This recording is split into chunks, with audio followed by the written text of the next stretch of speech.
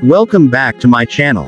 Today we are going to talk about a fighter jet that is truly iconic in the history of NATO air defense and European aviation collaboration, the Panavia Tornado ADV. This is a jet that represented not just a technological solution to a defense problem, but also the spirit of multinational cooperation between the United Kingdom, Germany, and Italy. The Tornado ADV, which stands for Air Defense Variant, was not simply a modification of the Tornado Strike Fighter, it was a specialized interceptor, designed for long-range defense of NATO airspace during the height of the Cold War. It is often remembered for its size, its twin engines, its variable geometry wings, and its role in the Royal Air Force as the Tornado F-2 and later the Tornado F-3. The Tornado ADV story begins in the 1970s when Britain recognized that it needed a replacement for the aging English Electric Lightning, which had been the backbone of RAF interception capabilities since the 1960s. The Lightning was fast and had spectacular climb performance, but it lacked endurance and modern radar. The RAF required something that could patrol for long periods, detect Soviet bombers at distance, and engage them before they could threaten British airspace.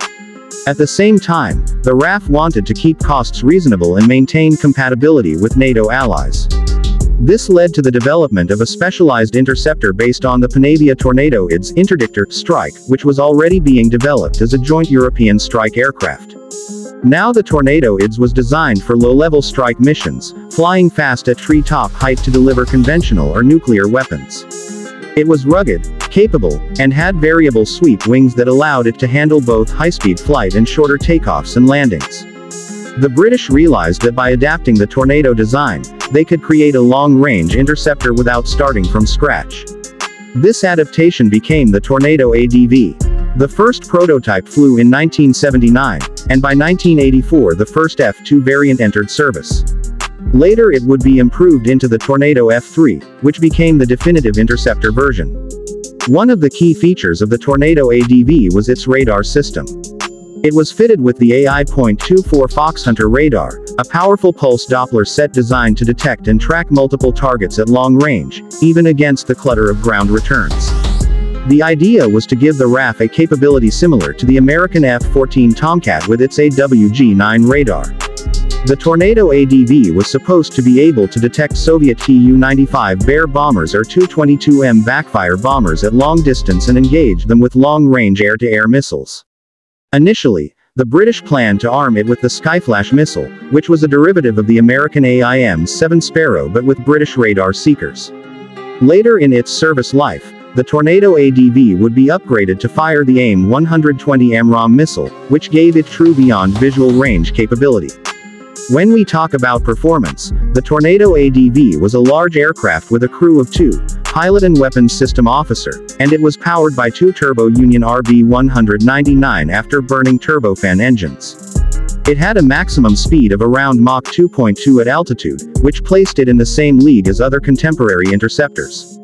Its range was greatly extended compared to the IDS strike version because it had more internal fuel and less need to carry heavy strike weapons. It had an endurance that allowed it to patrol large areas of the North Sea, a vital capability for intercepting potential Soviet incursions. The variable geometry wings allowed it to sweep back for high-speed interception or extend forward for low-speed loiter and approach. In terms of design, the Tornado ADV looked almost identical to the Tornado IDS from a distance, but there were differences.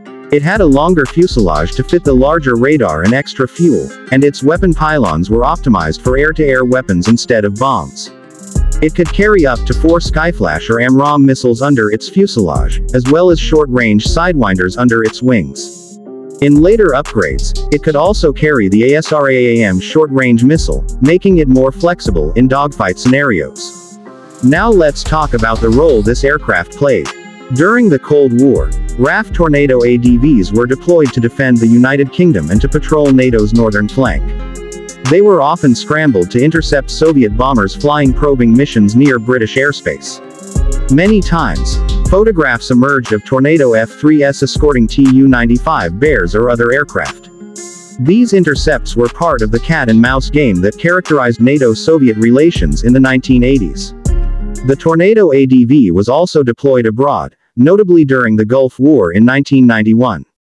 Although its primary role there was limited, Tornado F-3S did perform combat air patrols and protect coalition forces from possible Iraqi aircraft. They were later deployed to enforce no-fly zones over Iraq in the 1990s, proving that even though designed for the Cold War, the Tornado ADV could adapt to new conflicts. When it comes to pricing, the Tornado ADV was an expensive aircraft for its time. Each unit cost around 30 to 40 million US dollars in the 1980s, depending on the configuration and exchange rate. Adjusted for inflation to today's dollars,